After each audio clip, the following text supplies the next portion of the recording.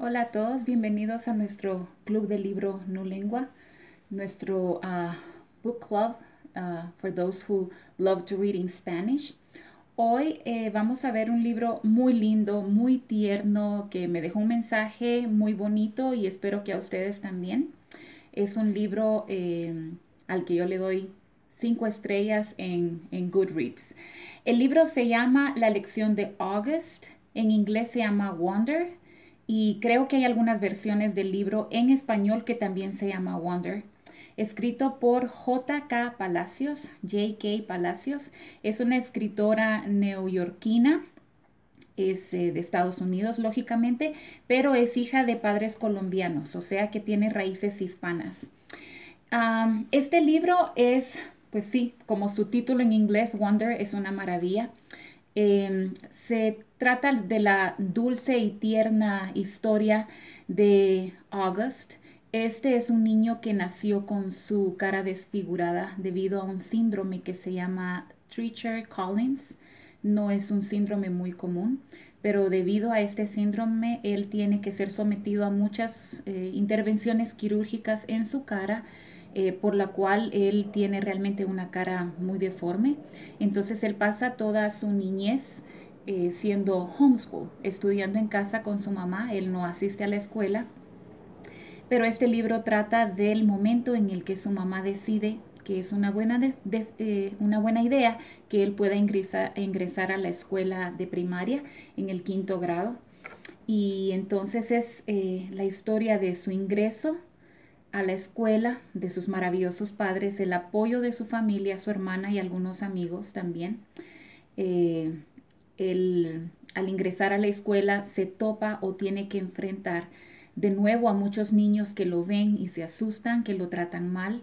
Él sigue teniendo el apoyo de su familia y algunos amigos y también eh, vemos eh, la reacción de su hermana como una típica adolescente que lo ama, pero llegan algunos momentos en los que ella también tiene vergüenza de presentar a su hermano con algunos amigos debido a su desfiguración facial. Em, hay momentos desagradables, también en, este libro en el que algunos niños no saben cómo reaccionar al ver a un niño diferente, pero vemos algunas tiernas experiencias con algunos amigos que sí lo aceptan y aprenden a amarlo como él es. Desde el inicio de su entrada a la escuela hasta su último día de clases, eso es lo que vemos en el libro, desde em, sus momentos difíciles hasta el momento tal vez más lindo en que culmina el grado en el que él recibe un premio a la grandeza. Es un momento en el que pienso que a muchos nos enternece y nos hace llorar. Y también sus últimas palabras de su madre al final del libro cuando le dice, eh, Augie, así le llama ella, Augie, you're a wonder, tú eres una maravilla. Y realmente él lo es. Bueno, de lleno en el libro, ¿cuál es el momento? Pregunta número uno, ¿cuál es el momento más provocador o emocionante de este libro? El momento que yo más me emocioné es cuando después de que él ha sido rechazado por muchos en su misma escuela, él va a un campamento, la mamá lo manda con mucho temor a un campamento donde va a haber muchos niños de otras escuelas y hay un momento en el que él se va con su amigo, deciden ir al baño y se encuentran con un grupo de niños de otra escuela que no lo conocen y que son bullies, ¿verdad? Son acosadores escolares y eh, empiezan a ofenderle. Y llegan algunos amigos de su misma escuela que antes habían sido bullies con él, llegan a defenderle, a pegarle a los otros niños y salen corriendo todos juntos. Ese fue un momento muy emocionante para mí, fue muy lindo también, fue uno de los momentos más tiernos, pero fue un momento emocionante para mí también. Muy bien. Eh, pregunta número dos, desarrollo de los personajes. ¿Con qué personaje te identificaste y si cambiaste tu opinión en cuanto a alguno de estos personajes? Eh, yo tal vez por mi edad y por mi rol en esta vida me identifico, me identifico con la mamá de Augie. Em, ella desea que su hijo sea feliz. Ella me imagino que ha sufrido por los desafíos que su hijo ha tenido que pasar, pero con, ella tiene un deseo de hacer lo mejor para él. Es una linda mamá que ha sacrificado muchísimas cosas para que su hijo sea feliz. Eh, algunos de este libro que no nos hayan gustado, personajes, eh, sí, me molestó sobremanera.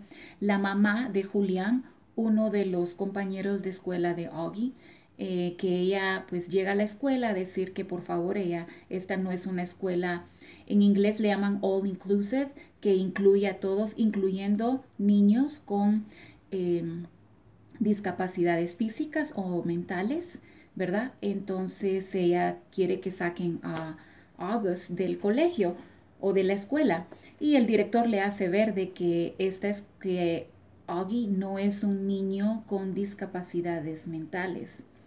Eh, e inclusive con discapacidades físicas creo que hay, bueno, sí hay un momento en el que él no escucha bien, pero es un niño brillante, muy inteligente, él tiene todas las aptitudes para estar en la escuela, simple y sencillamente se mira diferente, pero Así como es la actitud tan horrible de esta mamá, es la actitud del hijo. Con eso nos damos cuenta que de tal palo, tal astilla, mm, como educan o como son los padres en casa o en la calle, de igual manera son los hijos también. Entonces Julián es el que más batallas le da a August durante el libro. Y bueno, muy bien, ¿qué mensaje? Em, perdón, pregunta número tres.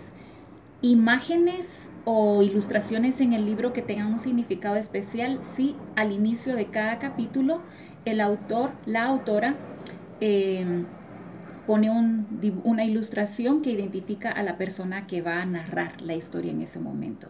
Y las caras que ponen, alguna le falta un ojo o le falta la nariz, eh, les pone las ilustraciones como que no están completas sus caras es algo que nos hace meditar y nos hace pensar que a pesar de que todos o la mayoría tal vez tenemos todos nuestros, eh, nuestra apariencia está todo en su lugar, es normal.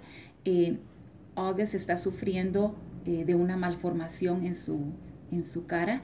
Eh, pues todos tenemos diferentes debilidades, todos tenemos un talón de Aquiles, todos tenemos limitaciones en diferentes áreas, ¿verdad? Entonces, eh, ese es el mensaje que me deja las imágenes que el autor pone en el inicio de cada capítulo.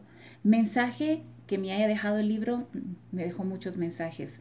Eh, más que todo un mensaje de aceptación hacia las personas que se ven diferentes.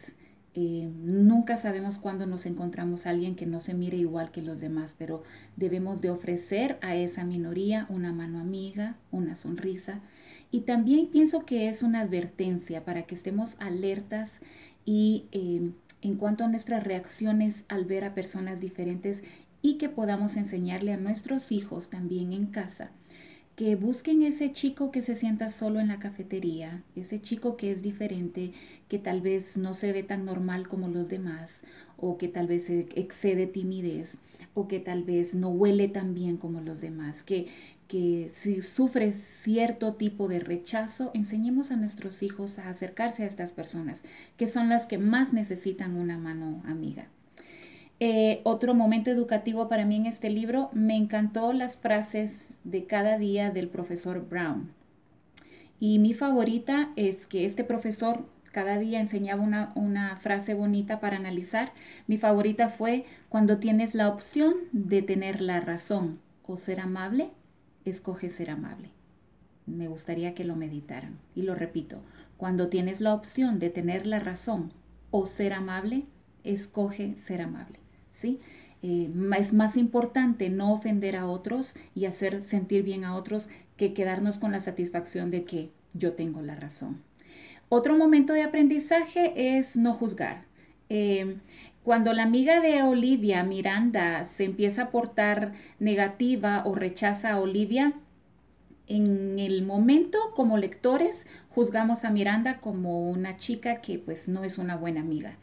Pero luego en el transcurso del libro, cuando la autora eh, pone a Miranda como narradora, nos damos cuenta que Miranda está sufriendo eh, los papás de Miranda se están divorciando y ella está pasando un mal momento. Entonces nos hace pensar que tal vez en unos capítulos antes juzgamos a Miranda y luego nos damos cuenta que Miranda pues está pasando una situación difícil. Entonces a mí me gustó mucho eso para pensar antes de juzgar o simple y sencillamente no juzgar, ¿verdad? Porque no sabemos lo que las personas están pasando. Y esa es una de las cosas que más me fascinó del libro, que la autora pone a todos como narradores en cierto momento del libro. Entonces podemos ver la perspectiva o el punto de vista de cada personaje de este libro. Eso me pareció excelente. Em, y mi parte favorita es, como ya dije al principio, es cuando sus compañeros de la escuela lo defienden ante los bullies de la otra escuela y cuando gana su premio a la grandeza. Eh, este libro me dejó mucho amor, me dejó un mensaje tierno em, y pienso que a todos nos dejó mensajes positivos de tolerancia, de empatía, de juzgar menos y de aceptar a todos los demás como ellos son. Bueno, muchas gracias. Eh, preguntas, comentarios que ustedes quieran enviar con respecto a este libro, escríbanme a um, nulengua.gmail.com y como siempre, pues calendarizar sus lecciones con nuestros excelentes tutores en www.nulengua.com. Nos vemos hasta la próxima vez. Que tengan un excelente día.